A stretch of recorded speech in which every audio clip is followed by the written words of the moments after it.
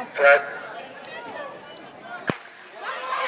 we have a clean start. Mid-City Express, Firebird, Tri-City Relays, Carolina Elite, and Durham Striders. And that is Carolina Elite making up the stagger.